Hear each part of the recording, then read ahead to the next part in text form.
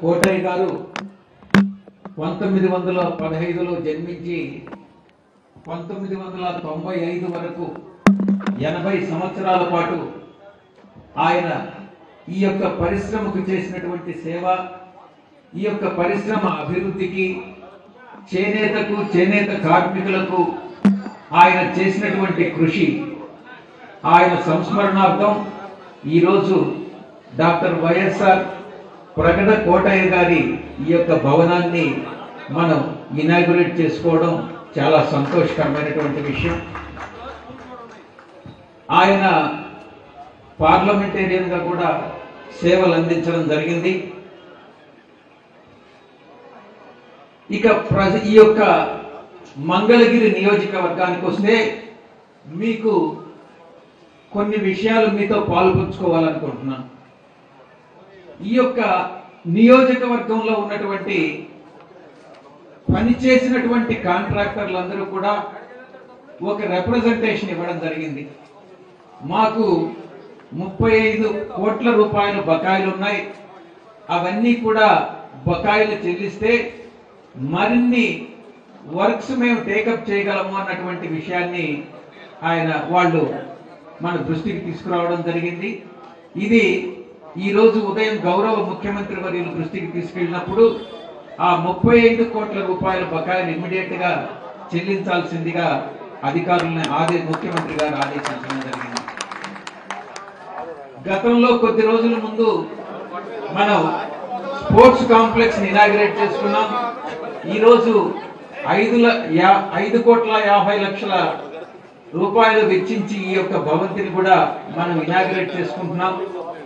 ఇదే విధంగా చాలా అభివృద్ధి పనుల పనులకి రాబోయేటటువంటి కాలంలో మనం ప్రారంభోత్సవం చేసుకుంటామన్న విషయాన్ని కూడా మీకు తెలియజేసుకుంటా ఉన్నాను.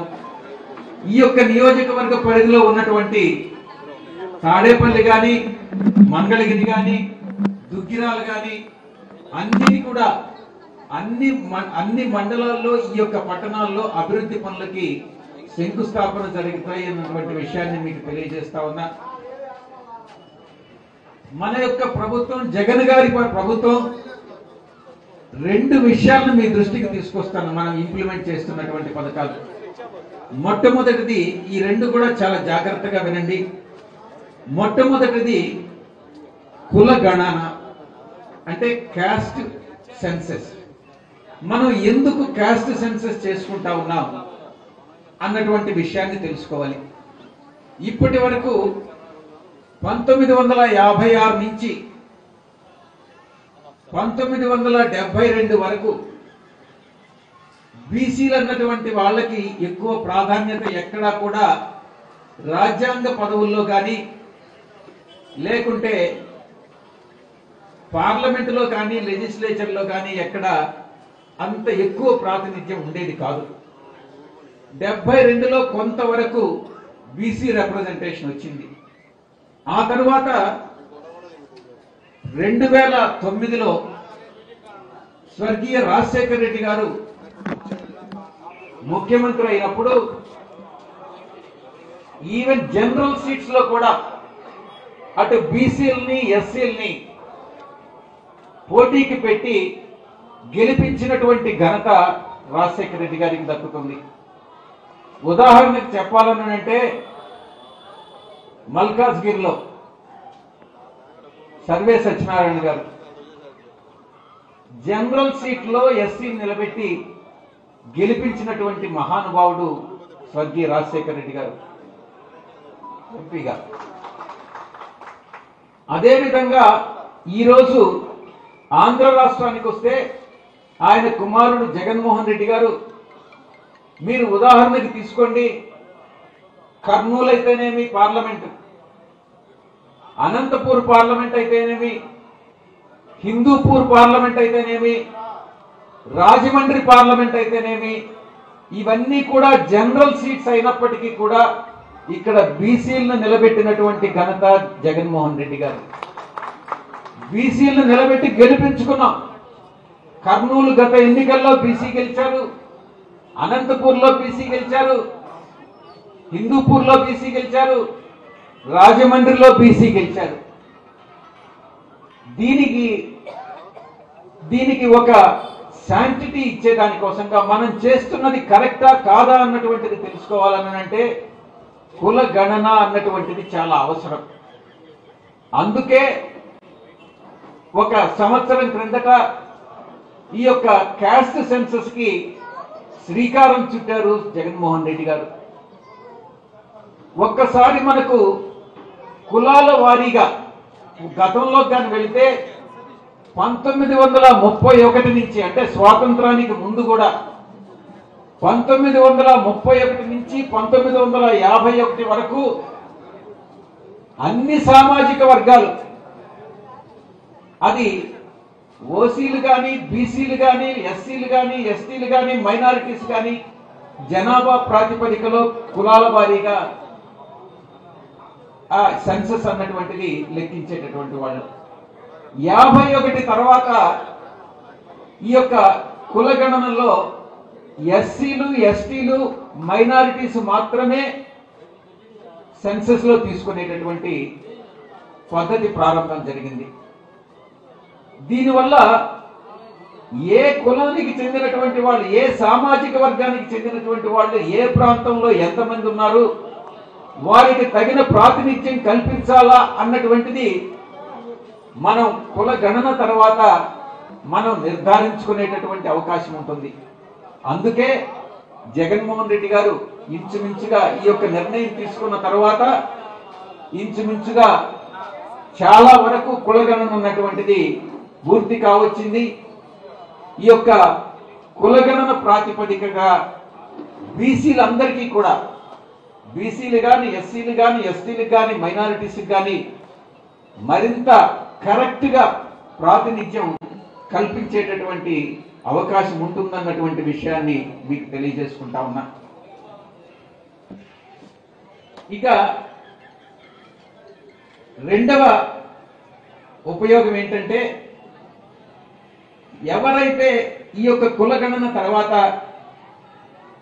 సామాజికంగా ఆర్థికంగా ఎవరైతే ఏ ఏ కులాలైతే వెనుకబడి ఉన్నాయో ఆ కులాలకి ఒక రిజర్వేషన్స్ మాత్రమే కాదు వాళ్ళకి ఆర్థిక సహాయాన్ని కూడా ప్రభుత్వం చాలా కరెక్ట్గా చేసేటటువంటి అవకాశం కలుగుతుంది. మరొక ఉపయోగం కూడా దీనిలో ఉంటుంది. ఉదాహరణకి ఉత్తరాంధ్రలో వాళ్ళందరినీ కూడా బీసీలుగానే పరిగణిస్తారు. అది తూర్పు కాపులు కావచ్చు వెలమలు కావచ్చు కొప్పుల వెలమ కావచ్చు ఏ ఏ చాలా సామాజిక వర్గాలన్నీ కూడా.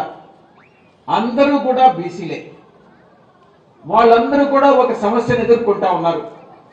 ఉత్తరాంధ్ర నుంచి ఏదైనా వ్యాపార నిమిత్తం కానీ ఉద్యోగ నిమిత్తం కానీ ఉదాహరణకి గోదావరి జిల్లాలకు వచ్చో లేకుండా ఉంటే నెల్లూరు జిల్లాకు వచ్చో ప్రకాశం జిల్లాకు వచ్చో స్థిరపడినట్లయితే వాళ్ళకి బీసీలుగా పరిగణించాలనంటే గతంలో జగన్మోహన్ రెడ్డి గారి ప్రభుత్వం రాకముందు వాళ్ళకి వాళ్ళ భౌగోళికత వాళ్ళ జియ- జియోలాజికల్ మొదట వాళ్ళ పూర్వీకులు ఎక్కడున్నారు?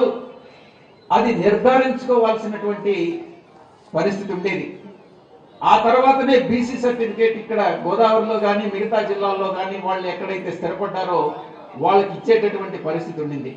కానీ ఈ యొక్క భౌగోళిక సరిహద్దుల్ని తీసేసి అటువంటి అవసరం లేదు.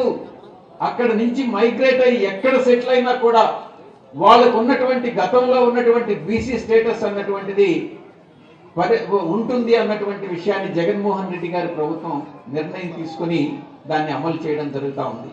కాబట్టి ఇటువంటి ఇటువంటి ఉపయోగాలన్నీ కూడా వీటిలో ఉంటాయి. వీటినన్నింటినీ దృష్టిలో పెట్టుకొని మనం బీసీలకు ఇస్తున్నటువంటి బీసీ ఎస్సీ ఎస్టీ మైనారిటీస్కి ఇస్తున్నటువంటి ప్రాధాన్యత ఈ యొక్క ప్రభుత్వం యొక్క లక్ష్యం వీళ్ళందరినీ కూడా ఈ యొక్క సామాజిక వర్గాలన్నింటినీ కూడా మిగతా అగ్రవర్ణాలను చెప్పుకోండి ఓసీలను చెప్పుకోండి వాళ్ళందరితో సమాంతరంగా అభివృద్ధి చెందేటటువంటి లక్ష్యంతో మన ప్రభుత్వం ముందుకు సాగుతా ఉంది. ఈ యొక్క ప్రభుత్వాన్ని మళ్ళీ తిరిగి అధికారంలోకి తెచ్చుకోవాల్సినటువంటి బాధ్యత మన అందరి మీద ఉంది. జగన్మోహన్ రెడ్డి గారిని మళ్ళీ మనం ముఖ్యమంత్రిగా చేసుకుందాం చూసుకుందాం అన్నటువంటి విషయాన్ని మీకు తెలియజేసుకుంటూ మరిన్ని అభివృద్ధి కార్యక్రమాలకి మంగళగిరి నియోజకవర్గంలో శ్రీకారం చుట్టబోతున్నాం అన్నటువంటి విషయాన్ని మీ అందరికీ తెలియజేసుకుంటూ ఏ సమస్య ఉన్నా కూడా మీకు ఏ సమస్య ఉన్నా కూడా మీ యొక్క చిరంజీవి కానీ కమల్ గారు కానీ హనుమంతరావు గారు కానీ మోహన్ రావు గారు కానీ నేను కానీ శ్రీనివాస్ కానీ అందరం కూడా మీ వెంట ఉంటాం మీ సమస్యలను పరిష్కరిస్తాం అన్నటువంటి హామీ ఈ సభాముఖంగా ఇస్తూ మీ దగ్గర సెలవు తీసుకుంటాం.